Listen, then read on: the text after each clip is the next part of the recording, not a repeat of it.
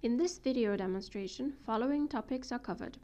What are mind maps, how to use IT Management Suite mind maps, and how to access the IT Management Suite mind maps.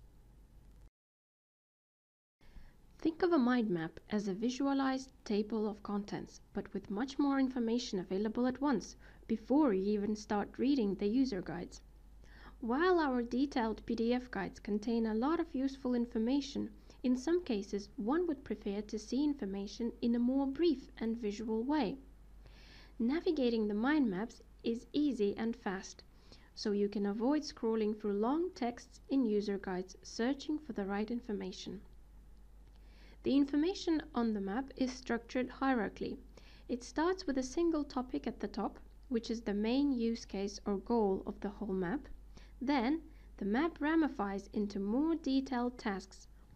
For example, the main goal of the Getting Started with IT Management Suite map is to quickly set up a small test environment and try out the main features of IT Management Suite. So, we should start by meeting the prerequisites for managing client computers. Once we open this branch, we see the steps that we must follow to achieve this goal. However, you might have already accomplished this task before, and now you need to gather inventory. So you can skip the first bubble and expand the next one on the right. It is not always necessary to follow the map from left to right, although numbered sequenced steps generally imply that you must complete them all to achieve the top goal. Note that the deeper you expand the map branches, the more detailed information you see. Org chart shape topics imply that you can choose a path or an option that you require.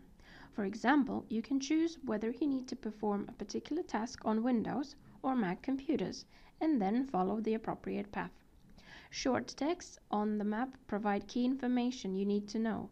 However, most of the bubbles include a link to an online help topic that explains in detail how to complete this particular step.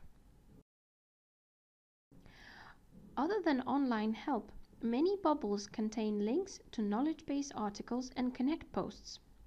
The notes attached to bubbles provide a more detailed information about a particular step or concept.